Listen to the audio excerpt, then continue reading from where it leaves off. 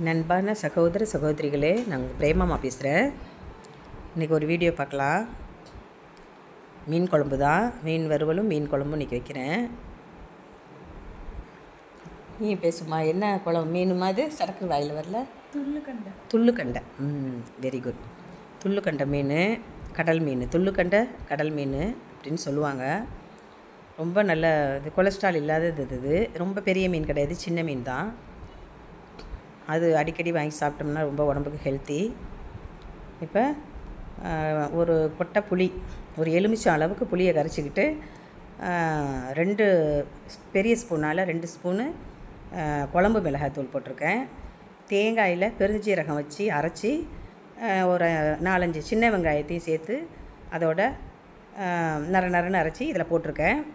அப்புறம் வந்து மஞ்சத்தூள் உப்பு போட்டு குழம்ப வடகம் போட்டு வடகம் பொரிஞ்சதும் ஒரு நாலு வெங்காயம் நான் ரெண்டு பச்சை மிளகா கருவேப்பிலை எல்லாம் போட்டு ஒன்றா அதோட கொட்டி அதை வடகத்தோடையே தாளிங்க.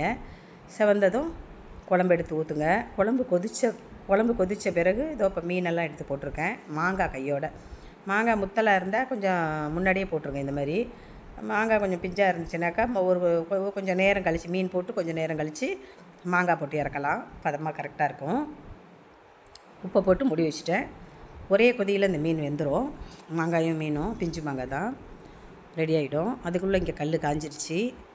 மீனை வறுத்துடலாம் இது வந்து இந்த மீன் வாழையும் தலையும் போட்டு அதில் நான் குழம்பு வச்சுட்டேன்.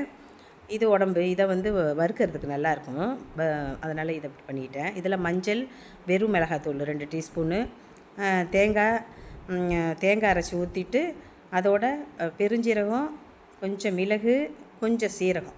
அதோ அந்த தேங்காயோடைய அதையும் சேர்த்து அரைச்சி இதில் மிக்ஸ் பண்ணியிருக்கேன். மஞ்சள் உப்பு அவ்வளோதான் கொஞ்சம் நேரம் ஊற வச்சுருக்கேன். கொஞ்சம் புளி தண்ணி ஊற்றிருக்கேன் இதில். இது கொஞ்சம் கவிச்சி மீனாக இருக்கிறதுனால நம்ம அந்த கொஞ்சம் புளி சேர்த்துக்கிறது நல்லது. இதில் கொஞ்சம் புளி ஒரு பட்டை கொஞ்சோண்டு. அதில் அங்கே குழம்புக்கு கரைக்கும் போது இதில் கொஞ்சம் ஊற்றியிருக்கேன் ஒரு ரெண்டு டீஸ்பூன் ஊற்றிருக்கேன்னு வச்சுங்க நல்லாயிருக்கும். இன்னும் சுவையாகவும் இருக்கும் வாய்க்கு சாப்பிட.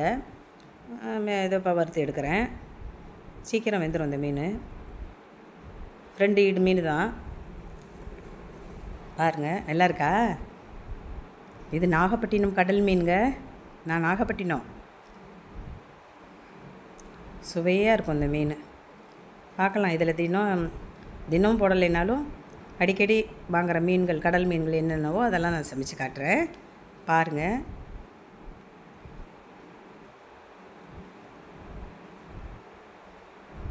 நல்லா இருக்கா? சாப்பிடணும்னு தோணுதில்ல? வாங்க. செஞ்சு தரேன். சாப்பிட்லாம். வாங்க நாகப்பட்டினம் வாங்க. கடல் மீன் சாப்பிட. பிரேமா வீட்டுக்கு. சகோதர சகோதரிகளே. ம், வெந்துருச்சு. மீன் கொதிச்சிருச்சு. ஆஃப் பண்ணிடலாம். ஓகே. எடுத்து வச்சாச்சு. இதோ சாதம் எடுத்து வச்சாச்சு. ஒரு சகோதரியோட கூட கேட்டிருந்தாங்க. இந்த சாப்பாடு வ- வைக்கிறது நல்லா உங்களுக்கு ஒர்க் பண்ணுதா? நல்லா இருக்குதா? ஏன்னா எட்டு மாதத்துக்கு முன்னாடி போட்டிங்களேன்னு. இதோ பாருங்கள் நான் இப்போ எல்லா சமையல்லையும் என்னோடய குக்கர் அந்த சாதம் வடிக்கிறது பக்கத்துலேயே தான் இருப்பேன். அது என்னம்மா அது பேர் சடக்குன்னு சொல்லி. வினோத்து ஸ்டெய்னர். வினோத்து ஸ்டெய்னர் பாட்டு. அதில் தான் எப்பயுமே சாதம் வடிப்பேன். அது பக்கத்தில் கூட வச்சுருக்கேன். அந்த சகோதரி பாருங்கள் டெய்லி யூஸ் தான் இது பண்ணிகிட்ருக்கேன் தாராளமாக நீங்கள் வாங்கலாம். நம்பி வாங்குங்க. என்ன ஒரு பத்து நிமிஷத்தில் சாதம் வடிச்சிருதே? கீழே சிந்தாமல் ஸ்டவ்வில் ஊற்றாமல் பொங்காமல் வடிக்கிறது ரொம்ப ஈஸி ரொம்ப நல்லா இருக்குது அது வினோத் ஸ்டெய்னர். வாங்கிக்கிங்கப்பா. அந்த வினோத் ஸ்டெய்னர் பாட் வாங்கிக்கோங்க. மீன் வறுத்து வச்சாச்சு. இது ரெண்டாவது இட்டு போடுறேன். அவ்வளோதான் சீக்கிரம் எவ்வளோ ஒரு பத்து பத்து நிமிஷத்தில் வேலை முடிஞ்சிருது. ரெடி பண்ணிக்கிட்டோம்னா எல்லாமே இப்போ ரொம்ப சுலபம். மீன் குழம்பு ரொம்ப ஈஸி எல்லாம் பண்ணி வச்சுக்கிட்டோம்னா டக்கு டக்குன்னு அடுப்பில் வச்சு இறக்கிடலாம். கடுமையான வேலையே கிடையாது. ம் அவ்வளோதான் பார்த்தீங்களா